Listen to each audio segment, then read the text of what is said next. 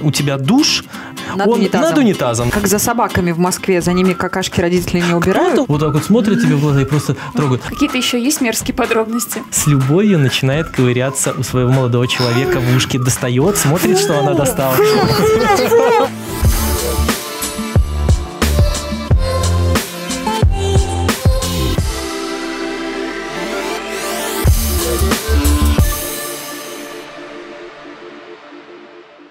Всем привет, это подкаст «Кто куда об эмиграции». Подписывайтесь на нас в YouTube-канале «Растрига Док» и слушайте в Apple Podcasts и других подкаст-платформах. Меня зовут Даша Кнорры. Я Оля Данилевич. В гостях у нас Денис, несколько лет проживший в Китае. Здравствуйте. Привет. Привет. Во-первых, давай э, начнем с того, что уже больше не живешь. Да, я э, вернулся из Китая, я журналист-международник, э, и там у меня была, скажем так, длительная командировка. Три года. Серьезно, мне нравится, что Денис к нам пришел в гости. Да, знаешь, это а, вот какая-то в журналистская костюме, такая. В галстуке. Мне как-то... Супер телегеничность. Э, Привычка, да. Ну, на самом деле, э, зрители не видят. Ниже пояса у меня обычные джинсы. Э, Я бы сказал, еще кеды, но нет. Тапочки домашние. Э, Ну, да, э, привычка. Телевизионная привычка. Сейчас ты где?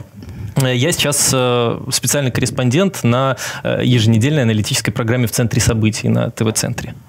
А в Китае ты работал тоже на телевидении? Да, в Китае я работал э, на телевидении, я был э, сопкором белорусского телевидения и работал на э, русскоязычном канале ЦТК, Центрального телевидения Китая, CCTV русский назывался. Денис Беларусь, это важно. Да, я из Беларуси, Но ты сейчас живешь в, России. в Москве. Давай все-таки да. возьмем этап китайский. Как Да. тебя туда подзанесло, кроме того, что это была командировка, и, ну, наверное, же было какое-то желание туда поехать? Ну, Или- да, командировка, это я так скорее утрирую, упрощаю, что называется. Э, В какой-то момент э, я узнал, что э, в Китае есть э, русскоязычный телеканал, э, и как раз тогда, ну, поскольку, естественно, наши страны и Россия с Китаем, и Беларусь с Китаем, они очень э, тесно сотрудничают, э, тогда был запрос на э, то, чтобы э, от белорусского телевидения там э, тоже были журналисты. На самом деле э, они были представлены какое-то время там, да, но не для других полно, как с эм, тобой. со мной, конечно, стали намного полнее э, представлены. И э, так все сложилось, что и на центральном телевидении Китая нужны были люди. Э, я подал туда свое резюме. Э, Китайцы его долго рассматривали. Я сначала даже волновался, думал, неужели я не подхожу.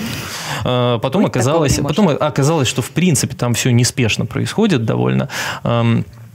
Да, и, собственно, спустя, наверное, полгода э, после того, как я решил, что почему бы и не съездить туда, э, я туда поехал. Там работали китайцы, которые э, понимали русский язык э, в той или иной степени. Ну, а что касается моей работы э, на белорусское телевидение, то, ну, соответственно, там я обходился русским и английским тоже, когда надо было каких-то иностранных когда, гостей Ты когда подавал резюме, ты знал, что тебе, в принципе, не нужен китайский такой вот в, в полном объеме? Да, конечно. Э, Там, во-первых, и не было таких требований, потому что если... и- Если э, соискатель обязательно должен быть с китайским языком, а еще он должен быть журналистом, еще желательно владеть английским, то это сразу очень сужает круг. И Э, сразу прибавляется доход. Ну, там, в общем-то, стартовые позиции были у всех одинаковые. Это потом уже, что называется, как договоришься. Вот. Да А- ты ехал, кстати, говорят, ты ехал за деньгами, за новым опытом. Зачем ты ехал? Нет, ну не будем ра- раскрывать какие-то финансовые тайны, да. Почему? Давай Э, будем. Как-то о чем мы здесь собрались? э, Скажем так, э, там э, на э, зарплату иностранного специалиста, экспата можно хорошо жить, э, можно даже какие-то деньги откладывать, но это была не сама цель. Э, Честно, мне хотелось посмотреть Китай. Э, И э, в целом Азию, потому что вы знаете, что Китай это хороший транспортный хаб, и оттуда м, очень легко добираться во все азиатские страны, там в Австралию, к сожалению, вот в Австралию так и не успел слетать, хотя очень хотелось. Э, А и- где был? Я был в Малайзии, в Индонезии и очень хорошо полетал по Китаю, поездил. Э, На самом деле эм, Китай в этом плане самодостаточная страна. почти так же, как и Россия в плане поездок, потому что э, там можно увидеть и э, на севере какие-то там, э, знаете, степи, э, на юге это, ну, отличные пляжи, угу. где-то там горы, то есть э, в зависимости от того, куда поедешь, очень интересно. Кстати, а где ты жил-то конкретно? Э, жил я в Пекине, ага. э, и, ну, периодически были какие-то такие выезды, командировки в другие города. Про жизнь в Пекине, давай вот э, про какой-то такой, не знаю, э, китайский быт.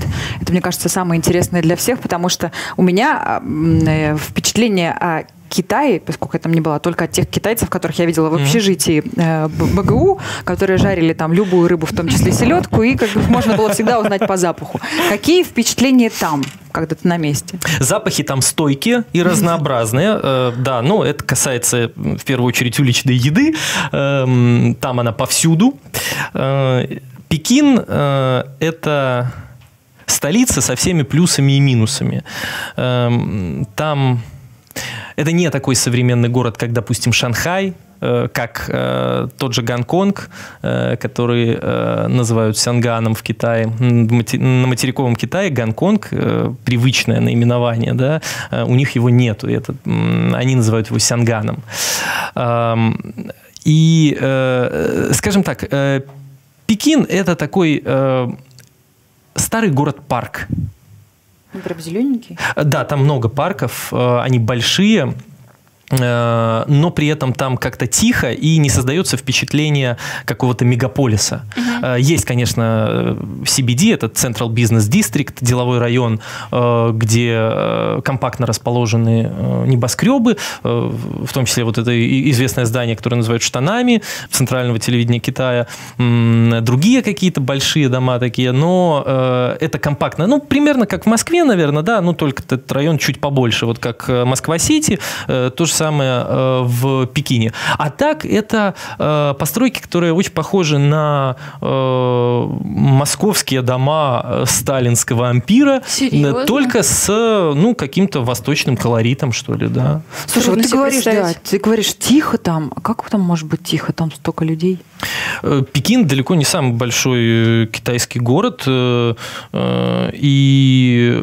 Слушай, ну любой китайский любой, город да. это, это несколько миллионов ну, человек да, на да, квадратный это как, метр. Это как мне один знакомый китаец говорил, я сам из небольшого города, там ну, чуть меньше миллионов. 10 миллионов да, человек да, живет, да, это да. вообще считай деревня. Я говорю, ну понятно.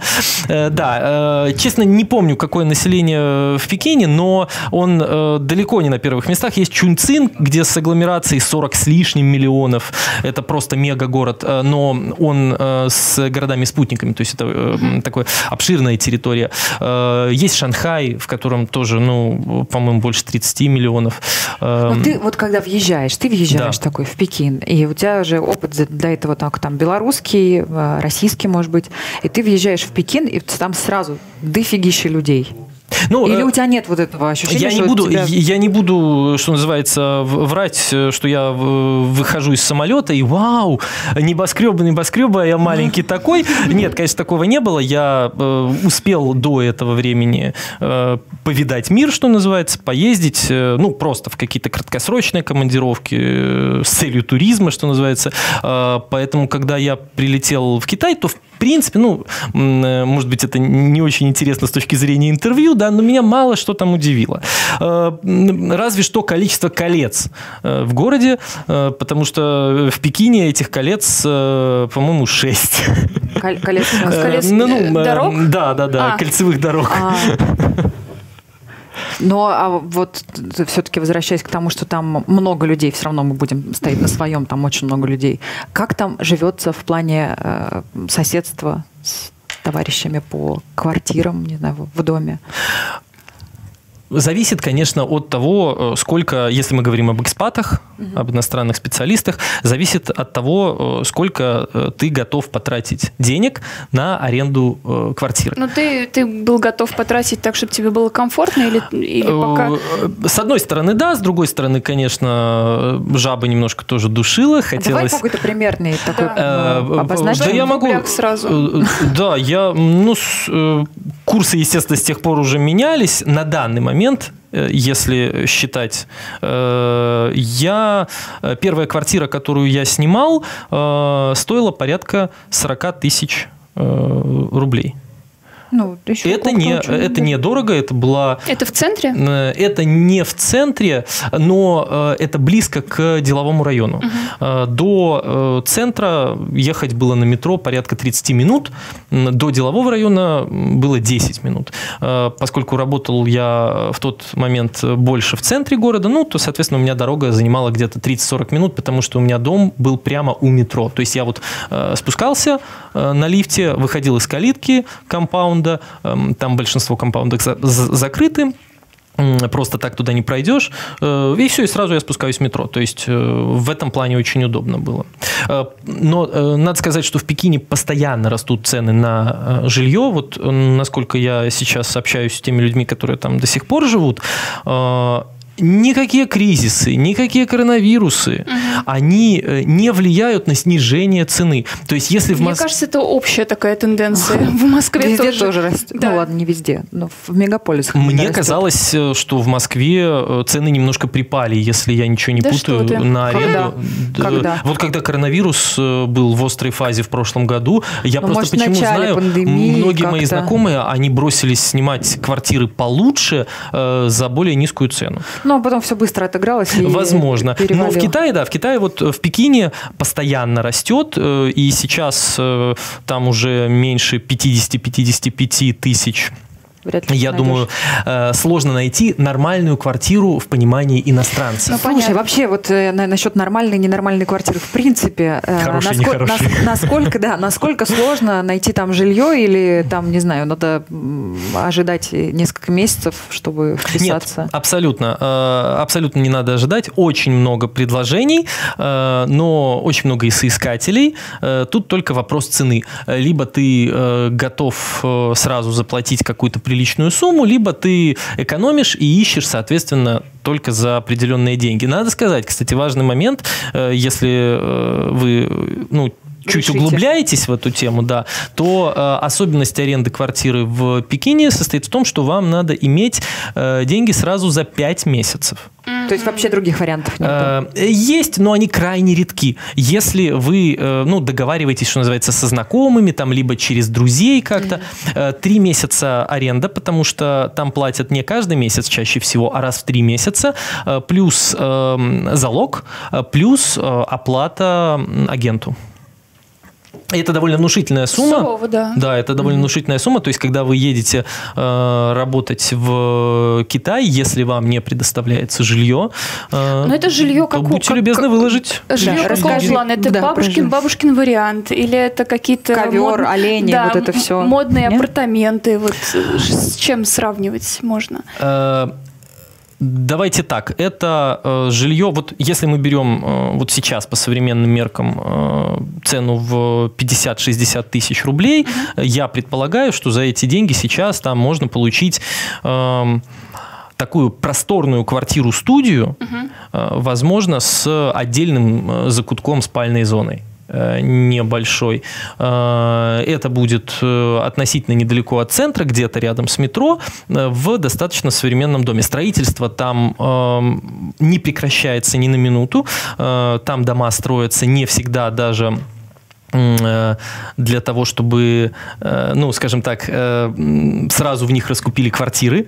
Может быть, для Пекина это меньше актуально, но в некоторых городах дома просто вот строят постоянно. А, это как у нас. Их не покупают. Да. Либо покупают знаем. в качестве инвестиций, там никто не живет. Но при этом строительство продолжается. Это, ну, нужно для того, чтобы постоянно было движение, постоянно можно было занимать строителей, постоянно закупать стройматериалы, материалы, производить их, потому что если остановиться, то этот пузырь с недвижимостью ну, может так, лопнуть. А вот этот пузырь не лопается в любом случае в какой-то момент? Пока издал... нет. Угу. Пока нет. Э, очень многие экономисты говорят, что вот-вот угу. лопнет пузырь недвижимости Последние в Китае, и тогда вы увидите, ой, какая будет проблема. Да, я это слышал в 2012 году, я думаю, это было и раньше. Вот сейчас у нас на дворе 2021, пузырь до сих пор э, не лопнул.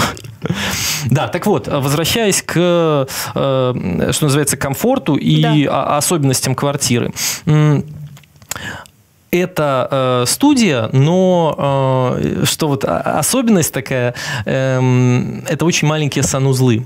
В большинстве китайских квартир, особенно если это квартиры... Ну, что-то, я просто, ты вот это про просторно начал говорить, я думаю, а где вот это Нет, все? Маленькая квартирка, подвох? где Маленький же? закуток для кровати меня тоже смутил уже. В чем подвох? Подвох в том, что особенно дома начала 2000-х, может, 90-х годов, эм, у них э, под э, туалет... Не принято читать, короче, в туалете. Э, да, либо, если принято читать, то не принято сильно размашисто мыться, потому что это стало притчей во языцах. Люди постоянно фотографировали, местные экспаты, когда у тебя душ, вот сам дождик, над он унитазом. над унитазом, да. И, в принципе, в какой-то степени можно даже экономить время утром, потому что ты сидишь и, соответственно, сразу принимаешь душ. Это, конечно, смешно, но по сути это так и есть. Не во всех квартирах, но в таких квартирах эконом-класса. унитаз. И прям душ над унитазом. Практически над ним, да. А куда а стекает как... водичка? В слив, обычный слив. А если ты хочешь просто помыться, не сидя на унитазе? Ну, тогда надо встать рядом с унитазом. Или на унитаз. Или на унитаз. Слушай, на унитаз это травмоопасно. Я увидела такой санузел только на, на корабле, на котором я из Сталина в, в Стокгольм ага. мы плыли, шли, как это правильно шли. сказать? Ну вот примерно шли. такая история э, и в Китае. Опять же, это не касается современных, э, суперсовременных домов. Там с санузлами все нормально. Единственное, что там э, не принято принимать ванны. Там ванн очень мало, и они... И в унитаз не поместишься. В основном в, в суперэлитном типа жилье. экономят воду? Экономят воду, экономят время. Э, потому экономят что пространство. Экономят пространство, опять же, да. Я, когда приехал, я первые полгода жил э, в гостинице для э, иностранных специалистов. Гостиница «Дружба», построенная советскими специалистами в 50-х годах. Там выложена, надеюсь, плиточкой «Дружба»? Или там что-то на китайском? По-русски, по-моему, ничего там не было, но очень добротная гостиница. Я так слегка подуспокоился, потому что я увидел ванну, я увидел нормальную, по сути, двухкомнатную квартиру угу. с кухней, это такой был ну, отель квартирного типа. А, а потом, э, когда спустя полгода я уже решил снимать э, отдельно квартиру, чтобы сэкономить, потому что там э, довольно дорого было жить, в этой квартире она обходилась в, ну, вот по нынешнему курсу в Э, по-моему, в 65 или даже в 70 э, тысяч рублей. Слушай, а есть какая-то программа, кстати говоря, помощи там, высококвалифицированным специалистам, которые приезжают работать в Китай, ну, там, не знаю, какой-то процент, например, аренды они берут на себя? Я думаю, это зависит от э, нанимателя, потому что, ну вот, раньше было проще, когда иностранный специалист приезжал, он мог жить вот в этой вот гостинице. Это было комфортно. Потом он уже спустя какое-то время, если хотел, сам э, искал себе тебе, квартиру. Тебе предоставляли эту гостиницу, бесплатно правильно, полгода. Ну, нет, не бесплатно. Я же говорил, в счет что зарплаты. Э, в счет зарплаты, и вычитали из нее довольно приличную сумму. То есть я, э, переехав в другую квартиру, э, я сразу уменьшил в два раза свои расходы на проживание. Единственное... Ты долго решался отказаться от ванны? Да, ну и, знаете, там еще шел в комплекте автомобиль с водителем, который э, тебя отвозил на работу и с работы, кисло. Э, по личным... Ты посмотри на него, он же как дипломат, а не как журналист вообще пришел. Нет, я не мог ему позвонить и сказать э, Шифу... Вези меня к девочкам. Да, вези меня куда-нибудь в, в другие номера или там в заведение. Да, к сожалению, не мог, но на работу с работы он возил. Но, в принципе, я в какой-то момент посчитал, что овчинка не стоит выделки, что уж лучше я на метро поезжу, но деньги сохраню. По поводу цен, э, раз уж мы заговорили, э, вообще в целом, как по поводу, по поводу еды. Э, принято есть в ресторанах или готовить самому? Или стритфуд покрывает все потребности человека? Стритфуд покрывает все потребности человека, если вы готовы к экспериментам, ну, не да. боитесь запахов, не боитесь ну, скажем так, не очень э, чистых э, тарелок. И не очень привычных продуктов. И не очень привычных продуктов. Ну, а ты что, там находил свеклу и варил борщ или как? Э, ну, э, на, на самом деле, э, если говорить про готовку, то я там, конечно, готовил, но это скорее, э, чтобы убить время. Mm. Потому что свободного времени там периодически было довольно много, э, и хотелось чем-то заниматься. что ты готовил там? Э, Я, я готовил разное. Я готовил привычные для нас блюда, то есть говядину, э, супы не готовил, готовил там куриные крылышки Картоху. с майонезом, картоху готовил. Э, То есть все всё это, это можно есть? было, да, все это есть, все это можно найти. Но эм, если вы хотите э, европейские, российские продукты, этого всего в достатке в Пекине. Но будьте готовы за это заплатить. И, естественно, не ту цену, которая в Москве, допустим. Потому что там есть магазины, так называемые магазины русских э, продуктов, магазины э, западных продуктов. Эм, но, конечно, э, ценники там кусаются. Ну, как и везде, я думаю, это примерно. да, да, да. Слушай, сейчас я просто подумала, вот пока пандемии, там многие на дистанционке, м, еще локдаун у нас был, и мы тут все поняли прелести доставки Мгм. московской. Наверное же это в Китае все было немножко раньше или... мне- Э, Да, довольно развито в Китае. Эм, Доставка, до сих пор вспоминаю с теплотой э, чудесный ресторан Эйнис. Ну, я не думаю, что это будет рекламой. Э, Сеть ресторанов, эм, э, ориентированных на иностранных специалистов или на так? Да, э, там много на самом деле таких заведений, магазинов, э, куда предпочитают ходить иностранцы, потому что далеко не все готовы эм, питаться китайской едой, э, и далеко не все готовы делать это долго. Ну, знаешь, э, по фану, по приколу, Ну, понятно, э, да. пару раз попробовать для Инстаграма съесть э, скорпиончика там или еще кого-то. Ты А, ел, Ну, кстати, подожди, там же- Ел, да. Ну, скорпионы, понятно, змеи и все такое, но они же делают обычные вот эти пельмешки, э, димсамы. Это все, в принципе, уже для нас тоже стало привычным. Э, Да, но единственное, вот э, я даже не знаю, как это сформулировать. Э, Вот вроде бы выглядит это как э, обычный пельмень наш, да, но по вкусу это совершенно другое. Хорошо, а Другое тесто, другая начинка. М, Это не то. Если ты старался покупать э, привычные для себя продукты и говоришь, что они стоят дороже, то сколько ты, получается, в месяц тратил на еду? Э, Я думаю, что э, на еду у меня в месяц уходило, ну, не меньше 40 тысяч. 30-40 тысяч. Так, давай тогда все-таки какая была примерно зарплата? Э, Хорошо, меньше 100, больше 100? Э, Ну, разумеется, значительно больше 100. Значительно да, больше. значительно больше 100. Ну, то есть, э, 1400 а, получал человек. она, э, э, скажем так, она Кивни от месяца Три- 300. Чуть чуть-чуть меньше. Чуть Окей. меньше, да. Э, Поэтому э, на жизнь хватало.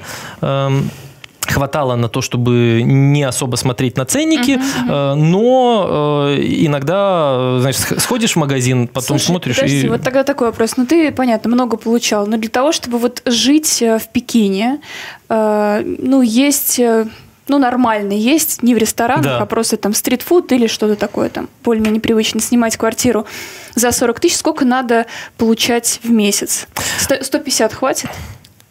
Или это прям... м, 150 это Впритык, э, да? это впритык, но в принципе этого будет достаточно для того, чтобы э, жить не особо себя ограничивая. Э, но э, если вы едете туда, чтобы заработать денег, то это не ваш случай, потому что чтобы что-то заработать, я думаю, что ну сейчас это должна быть зарплата от э, э, 200 тысяч. мгм. Ты Мгм. заработал, короче. Ну, э, я бы не сказал, что я прям э, заработал. Э, было э, у меня немножко особая история, да, потому что я работал и на китайцев, работал э, и на белорусов, и э, иногда у меня были какие-то подработки, э, ну, что называется, халтурки, да, как это у нас в нашей сфере журналистской называется, когда надо что-то снять, куда-то съездить. Эм, вот, э, мультфильмы озвучивал, кстати, это особая тема, которая мне очень нравилась безумно. Там, Как вообще получилось, что тебя позвали озвуч- на озвучку? ну, опять же, э, рынок э, м, русскоязычных специалистов или вообще иностранных специалистов в Китае небольшой. Да, они там есть, но все друг друга знают. Э, И э, когда выяснилось, что в эфире китайского телевидения должен быть мультфильм на русском языке, почему-то решили, что я смогу быть полезен. За что я безмерно благодарен, потому что это шикарный опыт. Это то, что я вспоминаю э, до сих пор с такой теплотой. Что называется, озвучивал бы и озвучивал. Э, интересная работа, хотя довольно тяжелая. Ты проводишь в студии, э, по сути, весь день. И за это время ты в лучшем случае озвучиваешь одну или полторы серии. Э, 20-25 минут э, длится одна серия. Это был мультфильм детский. Э, там главный герой была рыбка. Эм, я озвучивал э, отрицательного персонажа, э, лангуста, вот, с такими вот клешнями. Да, это было очень забавно. Ты помогал себе, когда озвучивал клешнями? Да, да, да. Я как-то вжимался в кресло, потому что я был э, такой мерзкий. У меня был такой мерзкий скрипучий голос такой вот, и я пытался как-то вот, вот соответствовать. Вот, да. Получался иногда миллиард, баба Яга. Я старался, чтобы этого не было, да. Вот как сейчас, например. Но эм, я к чему? Что э, было несколько источников доходов, угу. и э, поэтому в сумме ну, получалось довольно неплохо. Когда у человека там один источник доходов, и когда нет каких-то подработок, то, конечно, сложнее. Но русскоязычные там находят себя, они там снимаются в кино, там не нужно быть артистом профессиональным, чтобы Надо тебя сняли в кино. Нужно быть просто иностранцем. Лоуваем, так они называют иностранцем иностранцев, э, и тебя с радостью возьмут э, в какую-то эпизодическую роль, Класс. Э, заплатят тебе какие-то небольшие денежки. Я не снимался, но очень многие знакомые снимались, рассказывали, что это довольно интересно, и если это хороший фильм, хорошая компания, то это прям, ну, такой ценный опыт. А в Китае снимают примерно как в Индии, то есть это на потоке? Это вот это, когда, знаешь, босиком и эхом поют. Это очень на потоке. Я думаю, что все-таки там уровень э, повыше, повыше чем в Индии, да. Но это смотрят? Мне сложно сказать. Э, очень много сериалов идет, угу. очень много таких телефильмов, если вы угу. понимаете, о чем я, не художественных, а угу. телефильмов, идет э, по китайскому телевидению, учитывая, что каналов там ну просто огромное количество. Там у CCTV только каналов, наверное, 25-30, плюс там есть Beijing TV, тоже там, не знаю, 7-8 каналов и другие региональные телевидения.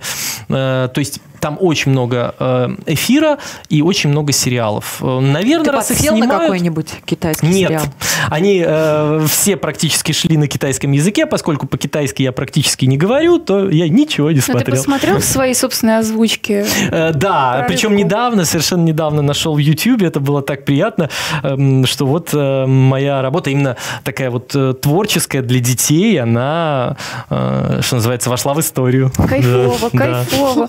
Слушай, Слушай, скажи, пожалуйста, ты уехал из Китая, я как-то сразу не спросила, до всех вот этих вот замечательных... Да, конечно, до, до всех этих историй с пандемией. Ах, как жаль. Э, ой, э, наверное, тебя нет, конечно, для нас, да? Судя по тому, что мне рассказывают э, люди, которые сейчас там живут, ну, конечно, стало потяжелее в плане того, что ограничения по части поездок там, ну, неважно, это касается не только иностранных специалистов, а в принципе, китайцев тоже, э, там э, до сих пор во многих регионах ну, нельзя выезжать в другой регион, вот, допустим, если ты живешь в Пекине, да, то э, тебе нежелательно ехать э, куда-то там на остров, э, э, допустим, отдыхать, греться uh-huh. на солнышке.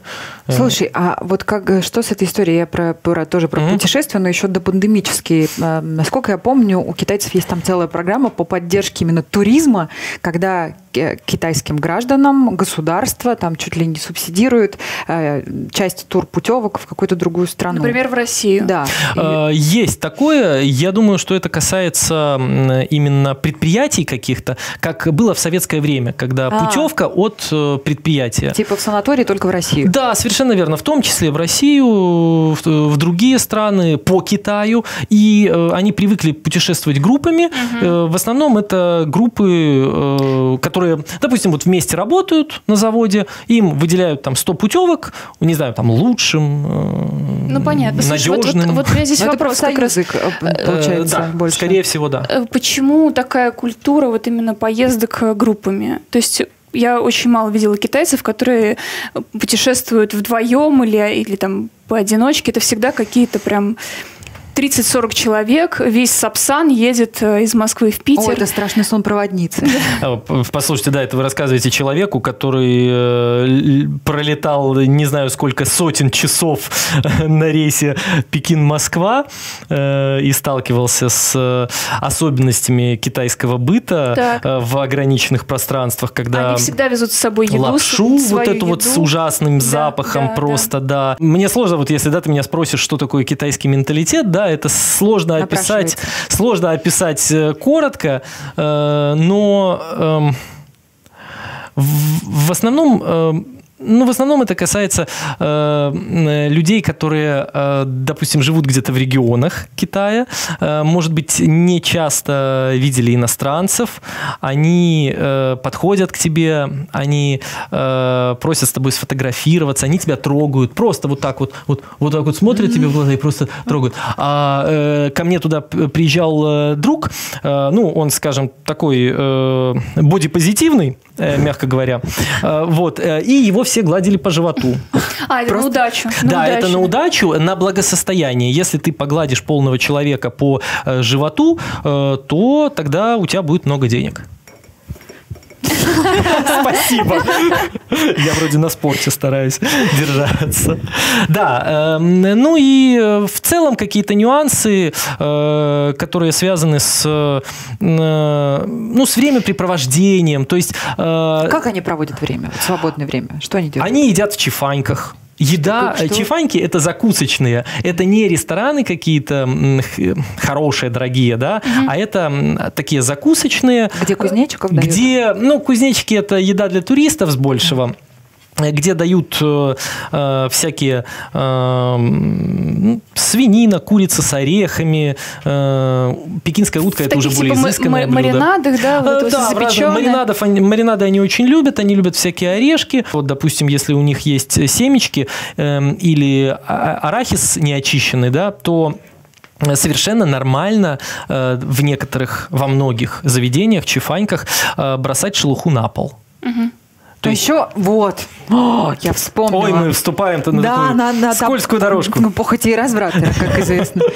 Я вспомнила же самые же главные отличительные Пожалуйста. черта китайцев за столом, что они, извините, Да. Рыгают? Да. Ну, бесконечно просто. совершенно Подожди, верно. Званый ужин, предположим, да, Так. сидят там, не знаю сколько, 10-15 человек. Э, Кто-то там, Мгм. может быть, экспат, а остальные кита- И они прям Да, э, единственный момент. Там есть некоторое стеснение перед иностранцами, э, и эм, То есть они чтобы поним- не шокировать, они понимают, что это не принято, что у европейцев... э, что, у европейцев это не принято. И поэтому, э, если ты в компании с китайцами, Прости. ну, по сути, Оля права, да. Э, Если ты в компании с китайцами, если ты э, европеец, иностранный специалист, то они, скорее всего, скорее всего, будут себя вести, как ты, стараться, по крайней мере. Я не как я. Некоторые не стараются. Но, э, Простите.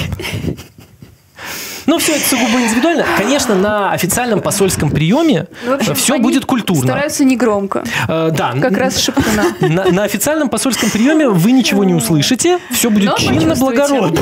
Да, ну нет. А вот если вы пойдете с друзьями, знакомыми китайскими в чифаньку, то есть риск, э, ну, по крайней мере, что вы услышите чавканье или какие-то другие не очень э, привычные для нас звуки.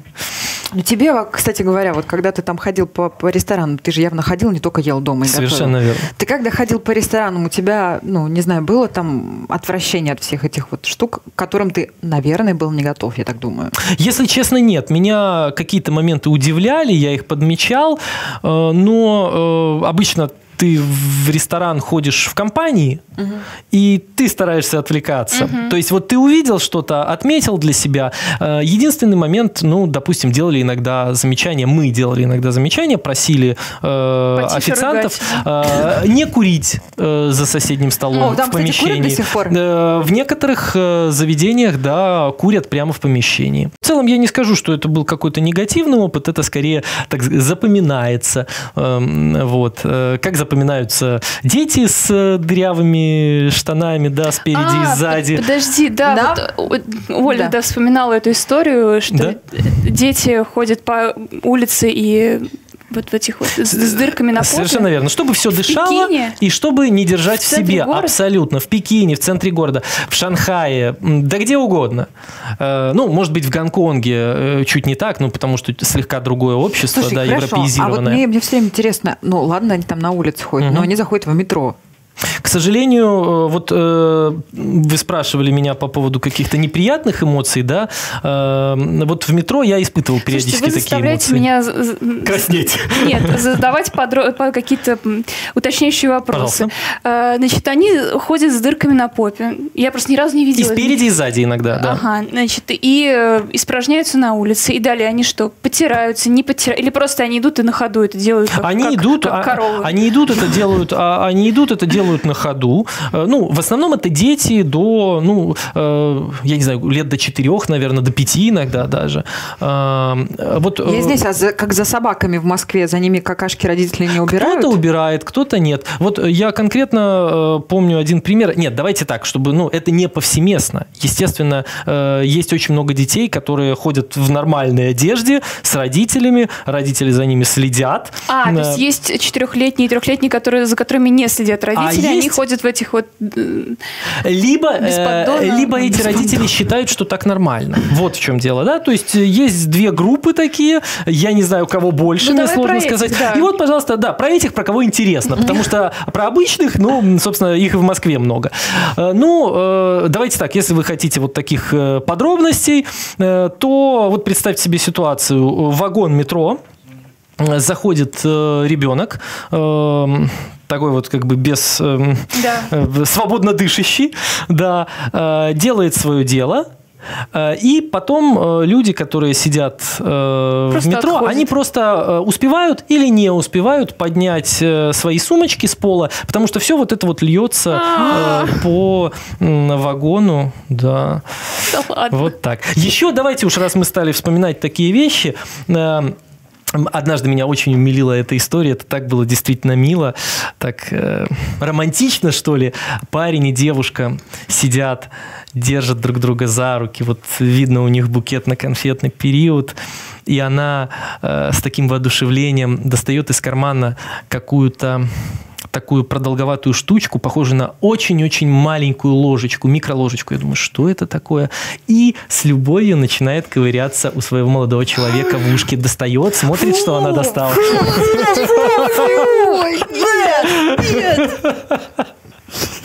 Я была не готова к этому. Я тоже. Но, к сожалению, я это видел. О, господи, боже. боже, да. Боже, а потом мы удивляемся, А что они едят летучих хорошо, она почистила уши, а дальше она с этой микроложечкой что делает? Ну, Положила в Ну, карманчик. как салфеточку, ну, как салфеточкой протирает, кладет в карманчик обратно, да. Ладно, какие-то еще есть мерзкие подробности? Э, Ну, э, в общем, наверное, давайте не будем уже больше, больше вас мучить, да, историями про то, как, э, ну, за детьми иногда не следят, в том числе и в ресторанах, и они могут сделать свои делишки прямо посреди Грязные. зала, да, грязные делишки. Вот, ну, это, как говорится, нюансы. Ты э, уезжал оттуда? Ты уезжал от всего этого или еще от каких-то других вещей? Или смысле, просто контракт закончился? Да. Э, Я э, знал, когда я туда ехал, сразу, что я там буду э, какое-то время. То есть э, я не собирался ехать туда, чтобы жить там, не знаю, десятилетия, хотя там некоторые иностранцы приезжают в Китай, понимают, что это их. Ну, потому что то, что я рассказываю, да, это какие-то интересные, такие смешные, порой, порой неприятные моменты. Слушай, ну, но есть много и хорошего, Да, да, есть много и понимаю. хорошего. Э, И э, они остаются там на всю жизнь. Я знал, что я оттуда уеду спустя 2-3 года, А наверное, почему? так.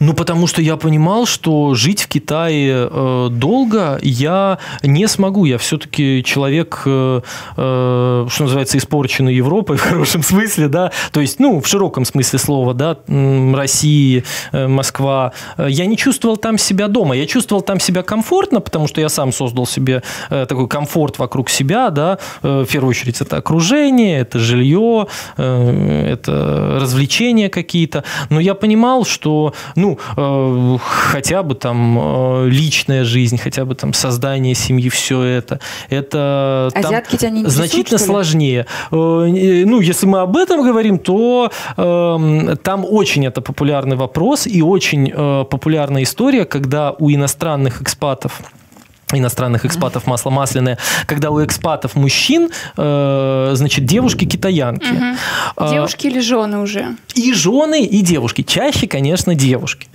Потому что, ну, э, возможно, из-за не совсем серьезного отношения, э, из-за языковых барьеров, из-за барьеров вот в Коммуникации? Коммуникации в, в каком-то, ну, скажем так, в особенностях культурных каких-то, да.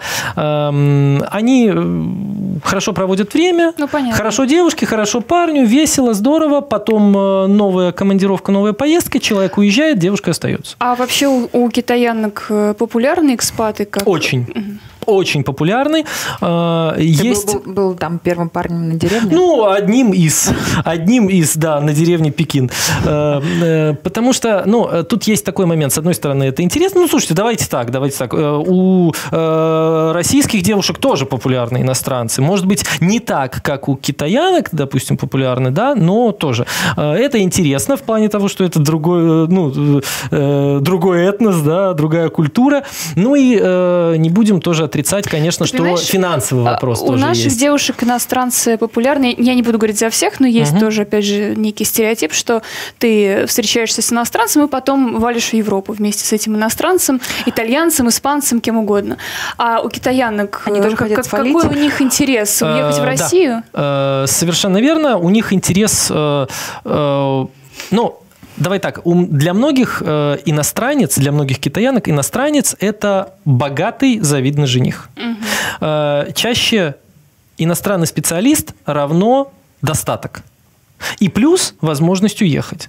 И, да, и Россия в этом смысле в том котируется? Числе, конечно, в том числе Россия, да. В том числе Россия, в том числе Европа. Ну, я уж не знаю, что называется, что больше котируется, там, Европа или э, Москва, угу. но то, что и то, и другое котируется среди э, китаянок, это факт. Слушай, да. это вот э, касается что особенностей всяких отношений. А есть ли, ну, как это часто бывает даже на постсоветском пространстве, у людей такого юного возраста, в принципе, мечта уехать из страны? Ну, то есть уже не сильно важно, куда именно, в принципе, хочется отсюда уехать. Вот такое у китайцев есть? Э, я бы сказал, что да. Э, вот, потому что э, та молодежь, которая сейчас вот учится в Китае, ну, училась там, когда я там был, они налегают на иностранные языки. Какие, кстати, учат? Английский? Учат английский, учат арабский, ну, наверное, испанский в меньшей степени. Раньше был популярен русский язык в Китае, сейчас, к сожалению, он уже не так популярен, его значительно меньше преподают в э, школах. И вот это я э, заметил по себе, по общению с китайцами, со случайными людьми.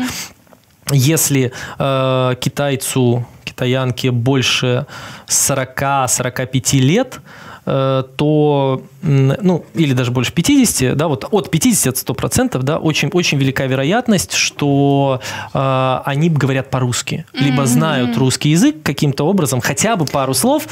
Молодые уже нет. Кстати, про возраст. Там вот у нас, например, после 30 уже считается девушка, ну, так скажем, ну, не, не, не, уже не старородящий. Да, старородящий, спасибо, прекрасное определение. А, там как вот с этим? Все-таки китаянки, они вообще молодо выглядят долго, не замораживаются лет после да. 15, и лет до 45 выглядит так же. Потом резко... А, да, ну есть... Э, это не касательно какой-то определенной национальности, но есть такая поговорка, может быть, э, не очень э, приличная. Маленькая собачка, собачка до старости да, щенок. Да, да. да, ну поскольку большинство китаянок, они довольно миниатюрные, у них, ну, реже встречаются проблемы с лишним весом, э, то да, я бы сказал, что они стареют медленнее. Э, мы не берем в расчет, конечно. Жалко, у нас не девушка. Мы бы спросили еще про все эти Еще вот это э, определение ликвид. Ой, я могу рассказать, я могу рассказать чисто девичью, девичью женскую историю, Давай. очень смешную, которая с одной знакомой произошла, которая приехала учиться в маленький город, ну, тоже там порядка 10 миллионов. Э, по-моему, Ланчжоу, если я не ошибаюсь, но это никому ни о чем не скажет. Эм, она приехала туда зимой, э, и э, встал вопрос о бритвенных принадлежностях, чтобы побрить ноги, извините. Да? Она приходит в магазин, еще китайский тогда не очень хорошо знала, и э, говорит, будьте любезны мне бритву. Угу. Продавщица, девушка, она удивленно у нее спрашивает, зачем? И показывает вот так вот, да, типа, ты что? Она говорит, нет, мне побрить ноги. Угу. На что та с удивлением говорит, а зачем? Ведь сейчас зима. Да. Э, в целом, э, далеко не каждая китаянка занимается этими вопросами и летом. Э, но я думаю, что вот в последнее время вот эта вот европейская культура, она все-таки проникает. Подожди, европейская культура это теперь наоборот Отсутствие к, волос. к бодипозитиву. А, слушайте, да. я уже запутался. Тогда да, да тогда... Мы сами запутались, но... Российская, вроде... наверное, российская. В России же пока все-таки, ну, насколько я вижу, пока ну, отсутствие волос на ногах в силе. По-разному, по-разному, да. Всяко бывает. Давай, выучил. наши да, традиционные. Да. Пожалуйста. Две-три фразы на китайском. Что-то ты же выучил. Да, которые нам как-то а, помогут да, да, там вот, ну, наверное, самое, самое главное, а, мафан ниншо инюэ. Я, опять же, не знаю, не помню уже, правильно ли я произношу э, тона, но это... Можно я буду говорить по-английски? Это первая фраза. Ну, естественно, сессия, спасибо. Эм, как? Сессия, сессия, сессия, сессия, то я, то я. Да, да, э, так. Э, либо еще когда ты стоишь в метро, э, там, когда час пик, как в токийском метро, тоже есть специальные люди, которые заталкивают, тебя, да. И когда ты, тебе надо выйти, да, я перед тобой очень много людей, ты так аккуратненько стучишь их по плечу и спрашиваешь, сядшима? Вы выходите? Вы выходите? Да, вот это тоже важно. Ты думаешь о том, чтобы еще вернуться, ищешь какие-то вакансии? Нет, конечно, нет. Все, да, закрытая тема? Абс- абсолютно нет. Ну, я съездил, я там побывал. А в Азию вообще в целом больше не тянет, вот именно пожить? Э, пожить нет. Э, я с удовольствием э, вернусь, ну, приеду в Китай в на недельку-другую, если будет такая возможность, когда наконец-таки, наверное, откроют границы. Да, но чтобы жить говорить. Э, да нет, это пройденный этап. Я совершенно не жалею, что я провел там три интересных года. Э, вот, но э, Москва, Россия, теперь мой дом родной. Да, поэтому пока я, по крайней мере, в Азию э, не планирую. Надеюсь, что ты не жалеешь о том, что ты тут время провел тоже. Я надеюсь, что я рассказал вам что-то интересное. Э, да, э, я абсолютно не жалею. Спасибо, что позвали. Местами шокирующие. Ну, зато это будет вирально, может, просмотров будет много. Это был подкаст «Кто куда». Мы благодарим студию «Мегаполис Медиа» за предоставленное нам помещение. Даша Кнора. Оля Данилевич. Всем пока. Пока.